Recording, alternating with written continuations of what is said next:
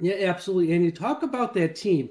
And the one thing I've always found interesting about that team is, yeah, they had a few superstars like Csonka and Griese, Paul Paul Warfield, who they traded, I think the third pick in the draft to get. They had a couple, but you look at that roster, and I just wrote down a couple notes. That was a roster of guys that you know were kind of a who's who, who other teams kind of threw away, who sort of gave up on. Larry Little was a uh, trade away by the Chargers.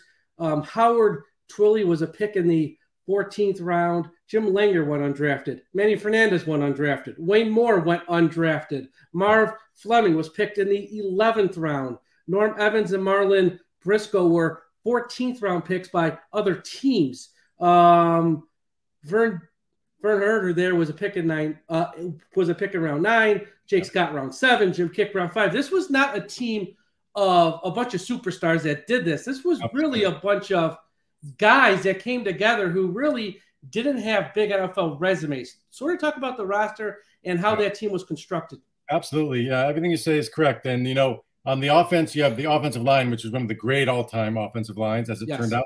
They called themselves the Expendables because they had been deemed expendable by other teams. You know, you mentioned Larry Little and Norm Evans and Bob Kuechenberg. You know, he, he was playing semi pro ball.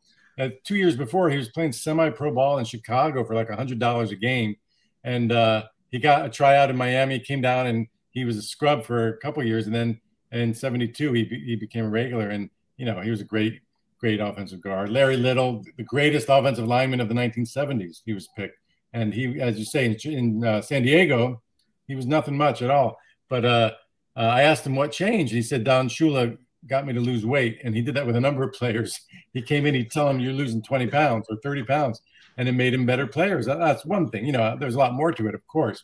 On the defense, of course, they had the no-name defense. That says it all. I mean, aside from Buoniconti, who had been an All-Pro in the AFL for the Patriots, um, they were they were largely unknown.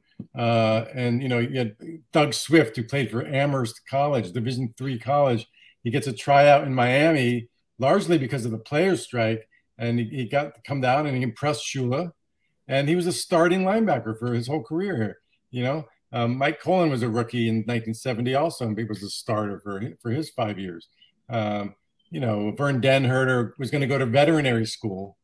He didn't even think he'd make it, but he said, "Well, I got drafted, you know, so I'm going to go down and give it a shot."